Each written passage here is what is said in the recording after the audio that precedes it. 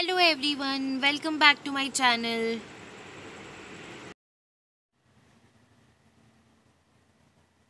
Ingredients that we require for preparing manchow soup are cabbage, ginger garlic paste, green chili paste, onion, carrot, capsicum, cornflour slurry, red chili sauce, dark soya sauce, green chili sauce, oregano, oil, tomato sauce, salt, french beans and chili flakes.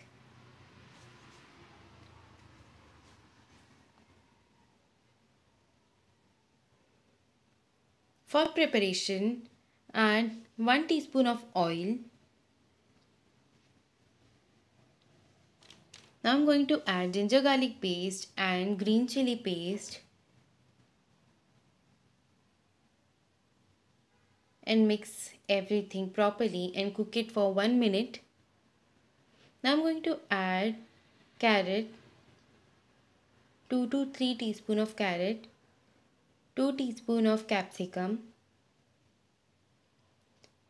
2 to 3 teaspoon of onions and 4 to 5 teaspoon of cabbage everything should be finely chopped and now I'm, now I'm going to saute Saute them for 5 minutes. And now I'm going to add 2 teaspoon of French beans, 1 teaspoon of salt, half teaspoon of chili flakes, 1 teaspoon of red chili sauce,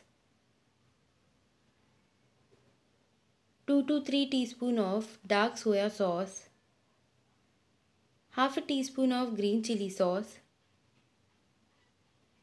1 teaspoon of tomato sauce and some oregano.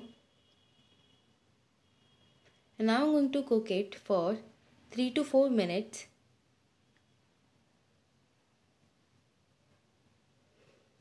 After cooking it for 3 to 4 minutes, I'm going to add 3 cups of water add 1 bowl of cornflour slurry and cornflour slurry is basically mixture of 2 teaspoon of cornflour and 1 cup of water. Now I'm going to allow it to boil for some 5 to 6 minutes. Now it is ready to serve. And this is it guys. Thank you so much for watching.